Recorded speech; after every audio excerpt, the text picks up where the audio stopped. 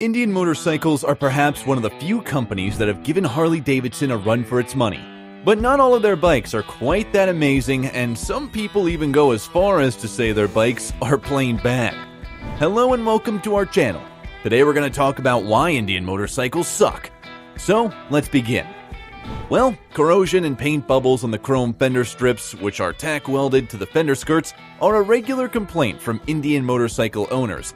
Consumer reports indicate that both the front and rear fenders are susceptible.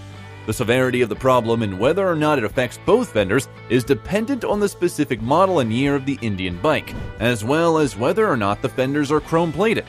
While newer Indian motorcycles typically have their corroding chrome strips covered under warranty, that doesn't aid owners who purchase their bikes without one. At first glance, this may appear like a purely decorative concern, but several riders have reported rusting chrome stripes and fender skirts due to water getting in via the bubbling chrome's open seams. Why exactly do the fenders of Indian motorcycles corrode and bubble over with chrome? When chrome strips were soldered to the skirt, the fenders weren't always painted completely around the welds. Sometimes the chrome strips are only vinyl or plastic with a thin layer of chrome tape over the top. The chrome tape used on 2017 vehicles bubbles up when exposed to mild temperature and humidity fluctuations, allowing corrosion to build around it. Another issue with these bikes is that clutch cables snap easily, some owners blame subpar installation by the dealership, while others blame insufficient lubrication of the wires during maintenance. The peculiar design of the Indian clutch cable actuator has been blamed by more than a few mechanics for the frequent failure of Indian motorcycle clutch cables. Compared to the clutch lever end, the anchor point at the actuator end is difficult to verify. If you routinely drive on a sandy road, the rate at which your clutch cable breaks will be directly proportional to how well you maintain it by cleaning and lubricating it at each service. In Indian bikes, many clutch cables fail at the weld that holds the cable within the actuator. Without proper lubrication, the clutch cable might break near its attachment points on either end during clutch disengagement.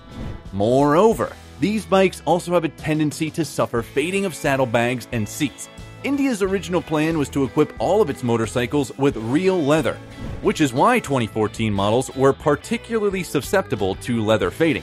To be sure, leather deteriorates in the sun, and many riders grumble that the altered appearance of their Indian is due to the fading tan leather.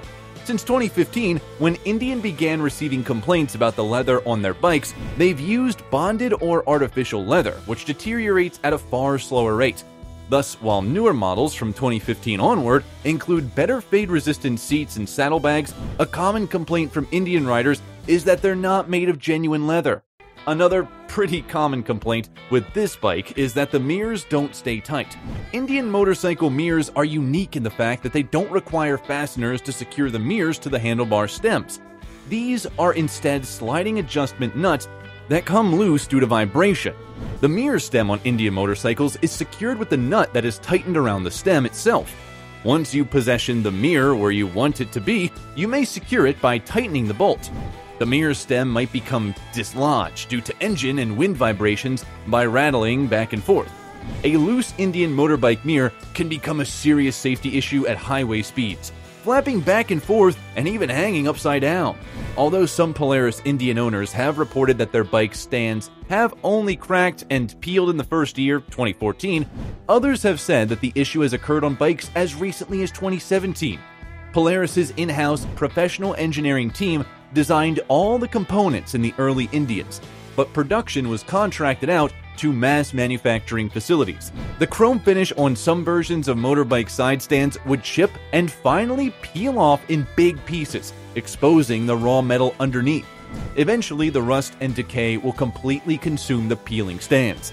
Earlier models of Indian bikes were rumored to have a problem with the side stand hinge cracking on a chronic basis as the stand was raised and lowered. Some bikers choose to repair their broken side stands with welds and re-chrome their kickstands, while others opt for a newer, more sturdy Indian design. Still, some will not even consider Polaris when it comes time to replace the broken side stand on their Indian motorcycle, opting instead to purchase an aftermarket replacement made specifically for their model year. Due to a design defect, Indian motorcycles' rear drive belt pulleys made annoying squeaking noises in 2014. Polaris's first year installation of horizontal barriers on the drive belt pulleys of Indian motorcycles resulted in a squeaking noise. Later, Indian engineers updated the part by replacing the straight grooves with V cuts, and the issue was resolved. More than a few Indian motorcycles from 2014 can still be found in the pre owned market. If you're looking to buy one, make sure to inquire about whether or not the seller has upgraded to the newer V grooved drive belt pulley. If you can't, ask if you can save some money and get a quieter part put at the dealership to save the hassle. Finally, the engine makes clanking sounds. Although the iconic Thunderstroke engine used by Indian in the majority of their motorbike models is a wonderfully engineered performance based torque monster, one of the most prevalent complaints from Indian motorcycle owners is the sound of the engine clanking. The distinctive semi dry oil sump on Indian motorcycles is usually blamed for the engine noise that riders complain about. A loud and rapid slapping noise can be produced by an engine if oil pools in the crankcase and isn't pumped out quickly enough, causing the counterbalance weights to slap against the oil pool.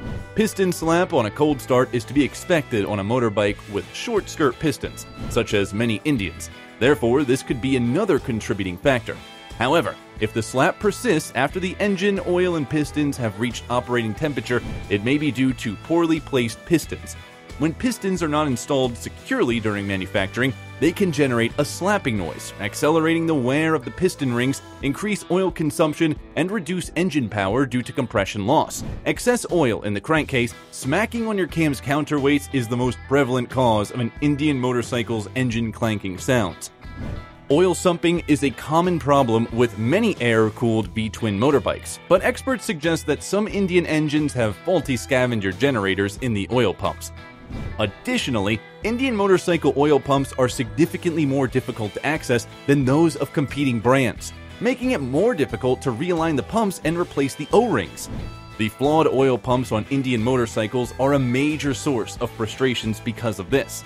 Now, us telling you about these issues doesn't mean that every Indian bike has them. It is just a rundown of the problems that many of the models had before. But which company does not have issues? At the end of the day, it just boils down to your personal preference. If you really like the bikes produced by Indian, then you should go for it because, after all, they are giving competition to Harley Davidson, and that's saying something.